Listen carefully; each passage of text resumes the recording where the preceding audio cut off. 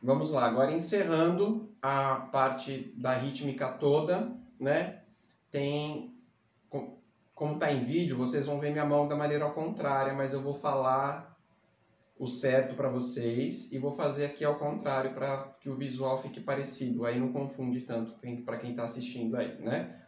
Então é assim, é direita, em cima, direita, esquerda, em cima, esquerda, junto.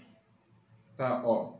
Eu estou usando a minha, eu estou falando uma mão e fazendo a outra, tá? Se eu errar, me perdoe, mas vamos lá. Só para vocês fazerem visualmente vai dar certinho para vocês, né? Ó, direita em cima da mão. Volta a direita para a primeira posição. A esquerda em cima da mão, aqui. Aí eu bato as duas juntas. Então fica assim: um e dois e três e quatro. Repete: um e dois, e, três, e, quatro. Tudo bem? E aí, para concluir o exercício, ele faz tan, tararam, tan, tan, tan. Lembre-se dessa ideia que tem muito em desenho animado, né? Tan, tararam, tan, tan, tan. Ele faz isso, ó. Tan, tararam, tan, tan, tan. E dá um tchauzinho. Então, ó. Tan, tararam, tan, tan, tan. De novo, ó. E dá o tchau. Tudo bem? Agora eu vou fazer um vídeo.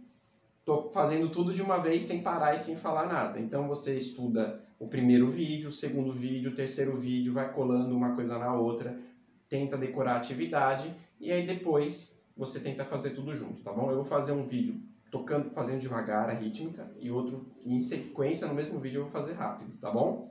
Que o mais legal é assim fazer rápido. É uma brincadeira muito bacana para fazer com todas a, toda a família, todo mundo que estiver em casa, para vocês treinarem e fazer isso aí, tá bom? Tem vários vídeos no YouTube para o pessoal desenvolver isso em mesa, faz isso junto com a família, faz isso junto com os colegas. Aquele recurso do copo que a palavra cantada também usa, eles são muito comuns assim em todas as culturas do mundo, tá bom? E é uma atividade bem bacana de fazer. Então, próximo vídeo eu vou fazer o inteirão agora, tá bom?